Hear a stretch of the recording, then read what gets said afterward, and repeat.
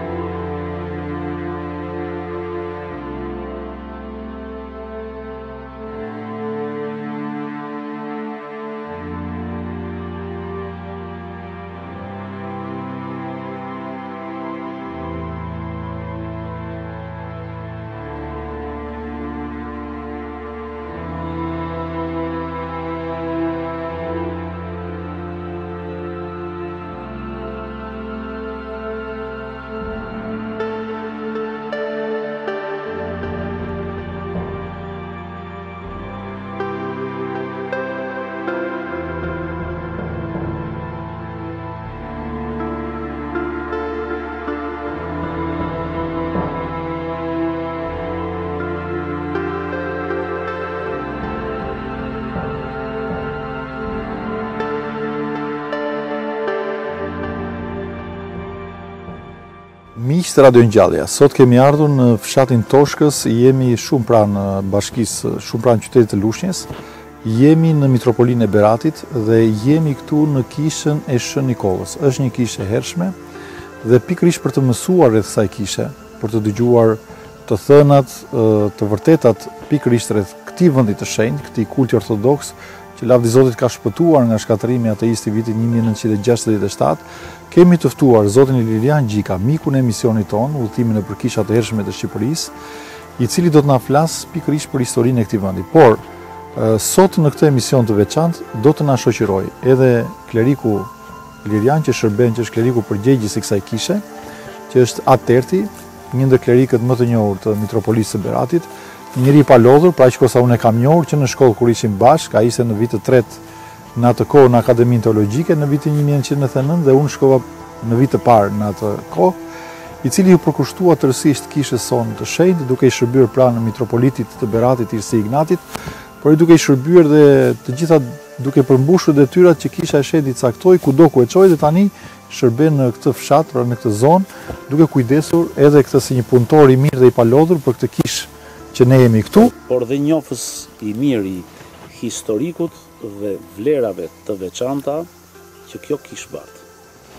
Unë kur e kam parë për herë të parë që nga kolegu im, Aleksandër, që punojmë, punojmë së bashku, Jam mahnitur nga mrekullitë që gjenden në këtë kishë, prandaj mezi po prisnim sot dhe unë ju falenderoj që sot gjetët kohën që të jemi së bashku dhe t'ju ndjekim juve dhe bashkë me At Tertin, i cili është edhe një njëkohësisht është ikonom stavrofor i një grad e dhënë kjo nga mitropoliti Beratit Hirësi Ignati për punën e tij të palodhur që bën në në, në këtë kishë, por edhe në të gjithë mitropolinë e Beratit. Me shumë kënaqësi do ju ndjekim sot.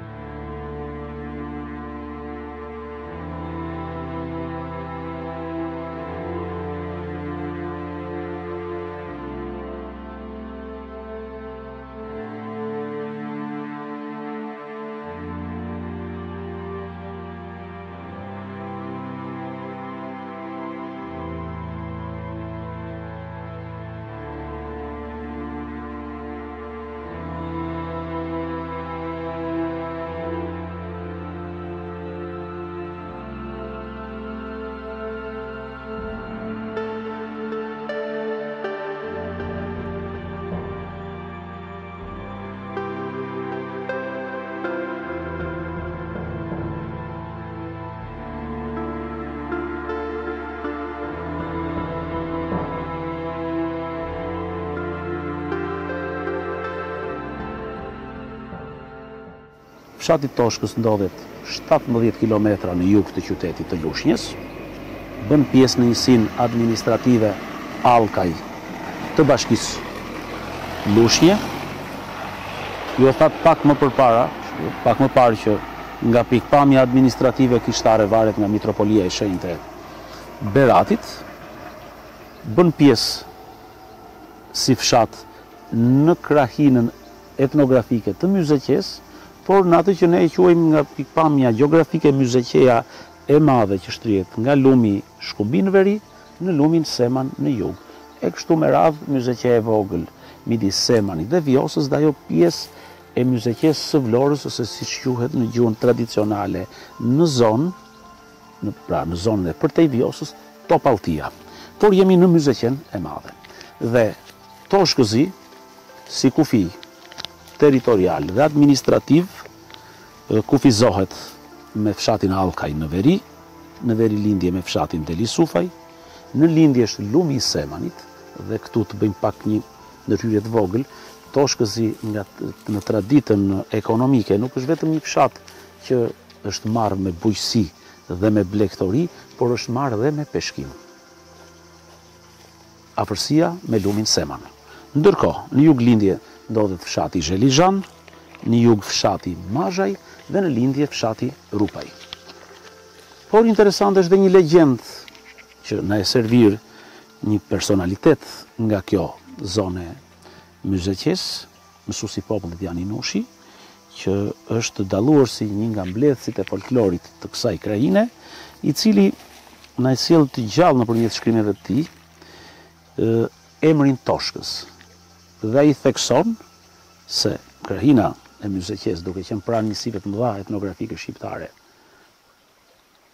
Në veri të Shkumbinit Gegërisë, Toskërisë dhe Labërisë në jug, në lëvizjet midis dhe kontaktet kulturore midis banorëve të këtyre zonave, më tepër është rrahur nga pikëpamja e tregtisë nga popullsia Gege, e veriut të Shkumbinit, popullsia nga krahina etnografike e Gegërisë dhe për t'i për të specifikuar vendin ku do të vinin, pasi këtu ka qenë një vijë uji që vinte nga fshati Thanë në lindje dhe derdhej në lumin Seman në jug të Toshkëzit, ishte ndërtuar dhe një mulli, që ishte një pikë takimi midis tregtarëve dhe ku zhvilloheshin tregje dhe panaire dhe për të etiketuar vendin se ku do të bëheshin tregti, do të bëjmë tregti me Toskët, pra tek Toskët, në Toskëz, në Toshkëz. Pra kjo është dhe legjenda e emërtimit të këtij vendbanimi, i cili origjinën do ta ketë diku nga mesjeta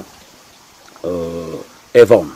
Në regjistrat turq figuron me me këtë emër, por Kisha, e cila është e vitit një mijë e shtatëqind e nëntëdhjetë e shtatë, për të cilën do të kemi dhe dokument, kemi dokument epigrafik të gdhendur në një nga gurët mbi portën jugore të saj, por ndoshta erdhi momenti që si asnjëherë tjetër në bashkëpunimin dhe në partneritetin në tonë në emisionet në kishat e hershme të Shqipërisë, sot do të ndahemi dhe do të takohemi me Atë Ertin i cili do të na shoqërojë dhe jam i sigurt se do ta bëjë shumë mirë punën tuaj. Patjetër. Përshëndetje. Përshëndetje. Mirë se ardhët te Kisha e Shën Kollit në enorinë e Toshkëzit. Atë përshëndetje. Ju falenderoj për prezencën dhe ardhjen tuaj në këtë kishë të vjetër dhe një kishë e shkëlqyer dhe e mbajtur mirë. Atëherë, këtu ndodhemi në një nga portat e kishës bazilikale të Shën Kollit të Toshkëzit, e cila sipas specialistëve konsiderohet si një bazilikë njënefshe, e rrethuar si të gjitha kishat e Myzeqesë nga të tre hajatet, hajati gjatësor jugor, hajati perëndimor, më i më i gjerë dhe më i lartë dhe hajati perëndimor që është në mënyrë simetrike, njëlloj me hajatin jugor. Ne jemi në një nga portat dhe më bën përshtypje Atë Erti, që nëse do të flisnim me të vjetrën, një bojë njeriu, ju jeni pak më i gjatë se unë, por edhe unë që kam shtat mesatar, shof që Niveli ndër vite i kishës nga punimet është është është ngritur dhe shoh që nga mirëmbajtja që keni bërë e keni shtruar sipas traditës me gur gëlqeror, pjesë guri gëlqeror, pllaka guri gëlqeror, ju keni përdorur edhe Llaçin e fortë apo betonin si element. Po, fugatuar që i thonë ustallarët, me fugatuar. Me fugatuar llaçin. Atëherë ky është mbishkrimi më i vjetër, besoj. Po, ky është mbishkrimi që na jep vitin e ndërtimit të kishës të një mijë e shtatëqind e nëntëdhjetë e shtatës. E ka të mbishkruar këtu sipër të gdhendur në gur. të cilën ne e kemi pastruar, sepse nga vitet kishte marrë atë atë ngjyrën e që nuk kuptohesh duke pastruar me një furçë teli të lehtë, siç kemi bërë dhe me murin. Edhe doli e pastër pastaj data edhe viti i ndërtimit të kishës së Shën Kollit. Pra keni bërë dhe punën e restauratorit. Në një farë mënyre po të shikoni dhe këtu ne bëmë dhe kornizimin e kësaj e këtij afresku, të gjithë që shkon dhe nga krahu andej sepse nga lagshtira se po të shikojmë dhe kur të hyjmë brenda nga pjesa e brendshme e kishës pjesa e bocellit që është sipër është ngritur në vitin një mijë e nëntëqind e njëzet e dy se siç e dimë që perandoria osmane në atë kohë nuk lejonte që objektet e krishtera të ngriheshin të ngriheshin në lartësi dhe të krishterët për të rritur kubaturën gërmonin në në tokë dhe po të shikojmë të gjithë kishat e vjetra janë në nivelin e tokës. Kohën e monizmit, këto hajate u përdorën dhe si depo që depozitonin drithin. Edhe duke lënë ato mbeturinat, krijoi një mbathje. Dhe ne pastaj se bëmë mirë apo bëmë keq, neve arritëm ta pastronim dhe ta nivelonim edhe ta shtronim me rrasa guri siç kanë dalë me format që kanë dalë nga. Mendoj se keni bërë keni bërë shumë mirë.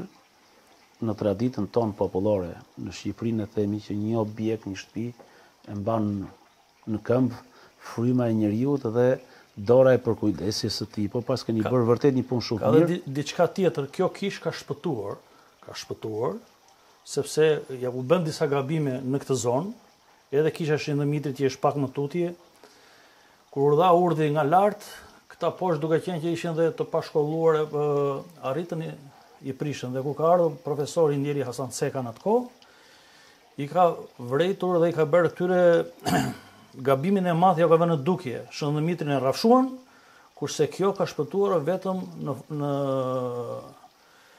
sepse drejtori i shkollës këtu ishte një farë Stavër Nushi, ishte bir prifti. dhe ia dinte, dhe, duke pasur njohje me drejtorin e muzeut, i kërkoi çelësat atij të kishës për t'i treguar nxënësve se çfarë ka qenë feja, me këtë pretekst, dhe i mori çelësat e kishës edhe nuk i dha më sa vite që ai që që ishte drejtor shkolle, dhe kjo shpëtoi. Më vjen mirë që dëgjoj dhe histori lokale, por do të referohemi, do t'i referohemi pikërisht qëllimit të emisionit të sotëm, sipas Theofan Popës, studiuesit, mbishkrimeve të kishave të Shqipërisë, ky është dhe viti i ndërtimit të kishës. Por mendoj dhe besoj që edhe tek mbishkrimet e tjera që keni në kishë, do të na orientoni që po, të merremi me interpretimin e tyre dhe t'ia servirim në një formë Pak a shumë autentike siç janë edhe teleshikuesve.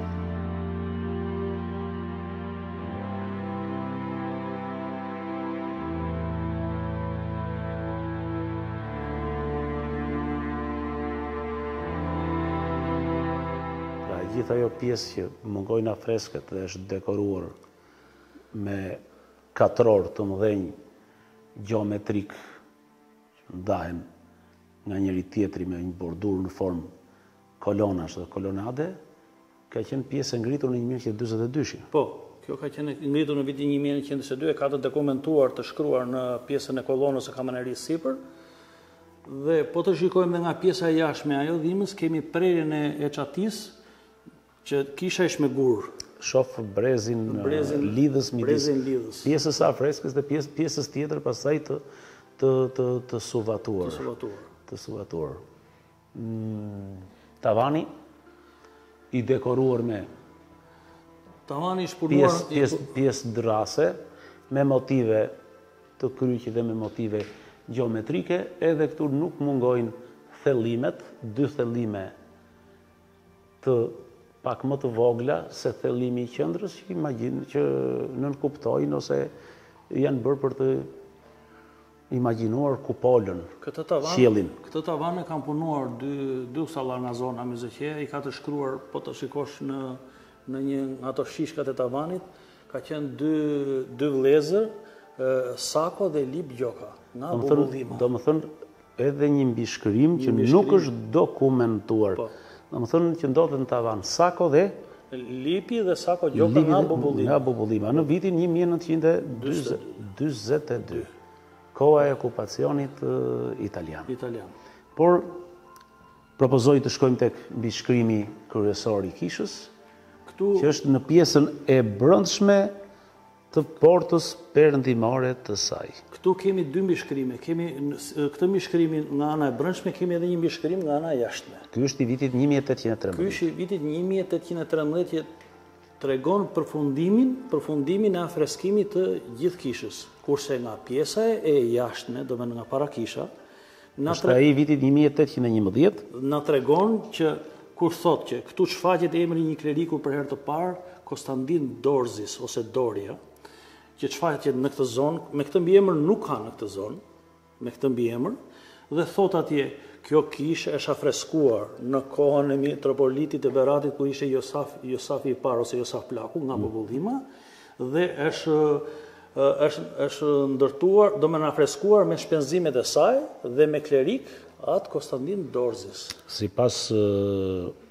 Theofan Popës, më lejoni ta citoj, ai thekson që në vitin 1811, flasim për mbishkrimin më të hershëm, u pikturua ky tempull dhe ky Thisiaster, kunga, pra bëhet fjalë për afresket e e bemës ose pjesës brendshme të të ajodhimës që i thoni juve në gjuhën e përdorimit kishtar apo të ose të të apsidës. Pra, në vitin një mijë e tetëqind e njëmbëdhjetë u pikturua ky tempull dhe Thisiaster i hirshëm dhe ekzonarteksi me shpenzimet e të krishterëve që banojnë në këtë famulli, në kohën e peshkopatit të shenjtë Beratit Joasafit të Ri. Dhe në kohën e priftërimit të zotit papa Konstantin Darça, Grabovarit, pra na del një prift nga Grabova, në kohën e kujdestarisë së tij me dorën e Joan Çetirit dhe Naumit, birit të tij. Pra bëhet fjalë për mbishkrimin më të më të vjetër të kishës. Ndërsa, ky është mbishkrimi më i ri, Joan Çetiri, sipas Theofan Popës, ka qenë përfaqësuesi më në zë i familjes Çetiri ose Katro, që ishin me origjinë nga Grabova e Gramshit, nga Grabova e Sipërme, të cilët dekoruan me afreske dhe pikturuan ikonat dhe dyert e bukura të ikonostaseve, që janë piktura të miniaturës, 14 kisha në të gjithë zonën e Myzeqesë. Dhe Joan Çetiri është përfaqësuesi më i shquar i kësaj plejade apo dinastie piktorësh nga kjo familje. Ka një interpretim midis studiuesve midis datave një mijë e tetëqind e njëmbëdhjetë dhe një mijë e tetëqind e trembëdhjetë që disa theksojnë që një mijë e tetëqind e njëmbëdhjetë është data e ndërtimit dhe një mijë e tetëqind e trembëdhjetë është data e pikturimit. Në opinionin tim dhe në interpretimin, ndoshta jam i gabuar, mbishkrimi që ne interpretuam që iu referuam pak më parë, i 1797-ës është data e ndërtimit dhe profesor Thofan Popa këtë thotë që ishte data e krijimit e ndërtimit të kishës. Por të dy nga interpretimi i sotëm gjykoj që Kisha, ashtu siç e theksoni dhe ju dhe mbartni dhe opinionin dhe mendimet e shprehura nga njerëz të kulturës, epigrafistë, por edhe njerëz të fesë që e njohin mirë greqishten kishtare që përdoret dhe që Përkthimet e tyre janë kjo larmi... kjo larmishmëri përkthimesh bën që të kuptojmë dhe ta interpretojmë drejt atë, pra ky tempull, për këtë tempull kishtar është dashur një periudhë prej dy vjetësh të të pikturohet. Këtë ne e bazojmë sepse në pjesën në pjesën veriore të derës së veriut, në fundin e ikonostasit, kemi datën aty në mbishkrim, aty që e ka mbishkruar të dy të dy piktorët, që jep Mund ta shohim më afër? Po, mund ta shohim më afër. E cila jep vitin 1811 dhe përfundim në 1813. E kemi këtu nga interesante. E kemi këtu në pjesën, edhe pse është dëmtuar çike, është dëmtuar pak pjesa pjesa e freskut aty, edhe ka të mbishkruar dhe ata kanë lënë mbishkrimin e tyre këtu. Shën Dimitri. Shën Dimitri. Shenjti luftëtar duke Shën Dimitri. Goditur me heshtë kundërshtarin. Dhe këtu kemi përsëri Joanin dhe Naumin. Njihet piktura me breza e Çetirëve në të gjithë bazilikat e Myzeqesë. Në pjesën e parë ka të gjithë shenjtorët, pastaj ka një dekoracion përsëri me shenjtorë duke përdorur atë të atë lastarin e hardhive të rrushit dhe pjesën e sipërme kemi gjithë ungjillin e pasqyruar në në afresk. Brezi i parë pra këtu kemi kemi Dhiatën e Re. Po. Brezi i dytë pastaj kemi figurat e nëse jam i gabuar të apostujve, apostujve, dhe pastaj kemi në brezin e tretë ose brezin e parë, duke marrë nga Nga pjesa e poshtme? Nga pjesa e dyshemesë kemi figurat e e shenjtorëve të, të kishës ku sytë më shkojnë si laik dhe si historian te dy personazhe historike, perandori Kostandin i Madh, perandori i Romës dhe dhe nëna e tij Helena me kryqin me historinë e kryqit të famshëm që një pjesë e të cilit ruhej deri përpara disa kohësh dhe në kishën e Labovës së Kryqit në Gjirokastër. Gjithsesi, nëse do të bëjmë një analizë të shkurtur, përveç se mbishkrimit të ktitorit të ndërtimit të kishës, te qemeri i derës.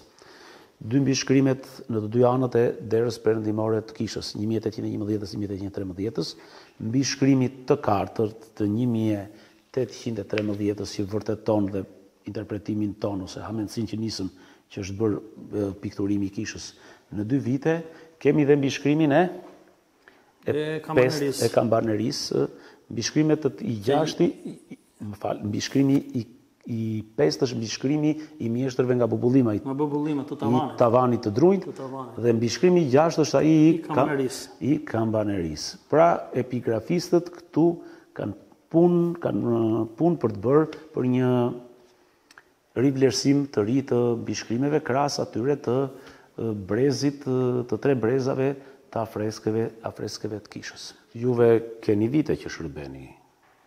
Po kam që në kam që në vitin dy mijë, do me njëzet e tre vjet. Njëzet e tre vjet. Dhe kjo është salla ku vendosen besimtarët, të cilën e keni dhe dekoruar bukur dhe me shije me karrige, një element i ri që zvendësonte stolat e dikurshëm ku uleshin paria e pleqve të zonës sipas fiseve, arkondët e, e vendit, autoritetet froni episkopal, të gjitha këto janë të periudhës së Të trashëguara. Të trashëguara, këto thjesht janë janë mirëmbajtur, po duke qenë se numri i besimtarëve ishte më i madh, u detyruam që vendosim dhe karrige që siç po siç po shikoni edhe ju që kemi vendosur këtu në në mes të kishës. Kur e kemi marrë kishën në fillim, e kemi marrë në gjendje në gjendje të mjerueshme. të mjerueshme, me një me një ikonostas të shkatërruar që kishte vetëm vetëm skeletin dhe ishin ato pjesë të vjetra, të cilën ne munduam i vendosëm për të treguar se se si ka qenë. Se si ka qenë dhe si gjithë objektet e tjera kishtare që kanë rënë pre e keqbërësve dhe dhe ikonostasi i kësaj kishe ra pre e keqbërësve, të cilët e shkatruan dhe i morën i çuan në treg të zi. Në mos gaboj edhe data Një mijë e tetëqind e trembëdhjetë që jep Theofan Popa e ikonostasit. Po, ikonostasit. Ikonostasi ka qenë shumë i vjetër. Dhe ne u munduam për mos u dukur kisha se dukej shumë keq e shumë shkatruar, e munduam dhe e kemi bërë në në një formë, në një formë dhe duke vënë ato pjesë që ngelën për të treguar që kështu ka qenë. Më bën përshtypje atë Pyetja që u bëra që parë që kini vite që shërbeni, akustika. Ka një akustikë të mrekullueshme. Kjo ka akustikë të mrekullueshme sepse gjatë restaurimeve që kemi bërë neve këtu, shikojmë në pjesën e brendshme të mureve ka enë qeramike që të boshta, të mhm. vendosura brenda në mur, dhe janë bosh ato dhe që krijojnë krijojnë atë për akustikën, për kthimin e zërit, për kthimin e zërit. Kthimin e zërit. Inxhinieria e thjesht popullore. Inxhinieria e thjesht popullore dhe këtë kemi ndeshur në, dhe në shumë kisha të tjera, edhe në Shënepremten e Lushnjes e njëjta gjë. Brenda në mur ka enë qeramike të boshta për të që ndihmon në, në kumbimin e zërit. Por dhe ndërtuesit e kanë ideuar një nefshe me të thjesht si ndërtim, por godina kur futesh brënda dhe me shtesët janë bërë të krijon ndjesinë e një volumi të madh hapsinor. Gjithsesi ka dy interpretime, unë do t'i referohem specialistëve, profesor Pirro Thomo, që është specialist i monumenteve të kulturës, që është marrë me studimin e kishave pasbizantine të, të Shqipërisë së jugut, përfshin edhe kishat e trevës së Myzeqesë, siç është edhe kjo kisha e fundit të shekullit të tetëmbëdhjetë dhe në studimin e tij rreth saj thekson që kjo është një, një bazilikë njënefshe e rrethuar tipike për zonën e Myzeqesë e rrethuar nga hajatet, por Bën përshkrimin e apsidës, që është një apsidë gjysmërrethore, punuar me gurë kuadratikë të skuadruar, por na jep dhe përmasat e saj të matura saktësisht, me gjatësi prej njëmbëdhjetë pikë tetëdhjetë metër dhe gjerësi prej gjashtë pikë dyzet metër, ndërsa Theofan Popa na jep një variant tjetër, të mëparshëm,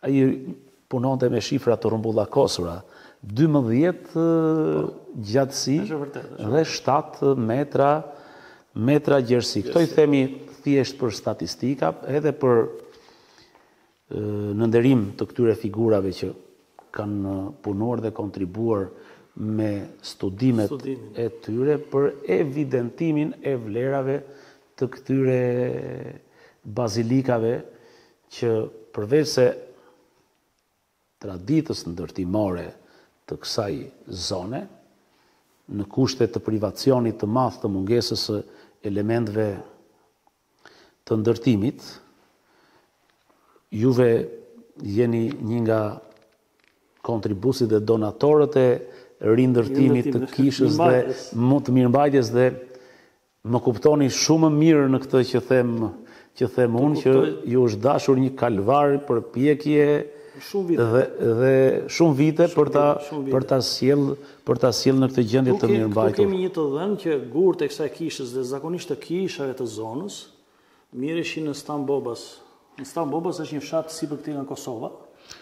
Në fshatin Kosovë të Lushnjes, ta ta sqarojmë, ta sqarojmë edhe këtë. Në Kosovë të Lushnjes edhe në zonën kodrinore, gur gëlqeror. Dhe gurët janë marrë atje dhe sipas të dhënave që kemi, të gjithë besimtarët me kontributet e tyre, me qerret që kishin atë kohë dhe merrnin gurin që atje dhe me ato gur është ndërtuar dhe kjo kishë. Këtu kemi hasur gjatë gjatë punimeve, gjatë restaurimeve, kemi gjetur një lloj guri poroz që unë e kam gdhendur dhe e kam vënë atje, e kam bërë kryq. Në formën e kryqit. A ishte gur, po kryq e bëmë neve dhe është një gur poroz i veçantë, është si si poret e sfungjerit. Karakteristike e kësaj zone? Jo.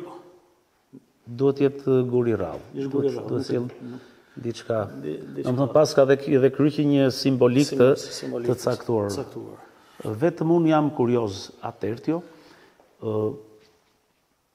Për qëllime të emisionit të sotëm dokumentar do t'ju lutem që t'i anashkaloni pak rregullat kanonike dhe në rolin e studiusit apo të gazetarit të më fusni në altar që është monopol i, atribut i njerëzve të klerit që shërbejnë sepse jam kurioz gjithmonë në pjesën Kishat e Myzeqesë kanë një nike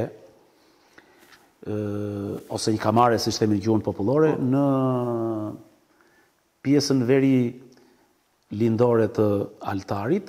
Proskomidhia ku përgatitet kungata, është shenjë. Ku, ku përgatisni pikërisht kungatën, ka qenë karakteristikë për Çetirët Pikturimi i Kryepriftit, Kryepriftit Melkisedekut, jam kurioz, ka afresk të tij në kishën tuaj? Po, po, ka dhe e mbajtur shumë, shumë, shumë mirë dhe është në mënyrë shumë të qartë.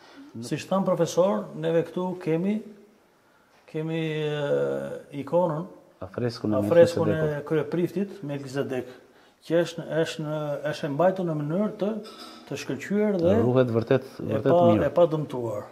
Vetëm ka disa po të shikojmë disa gjëra këtu që i ka janë nga nga qirinjë që i kanë përdorur në kohët diku nga parafin, dyll, që edhe kështu është shumë i mbajtur shumë mirë. Është i mbajtur shumë mirë. Që e kemi gjithmonë në krah të majtë të proskomidhisë ku pregatitet ë ku nga të shenjtë.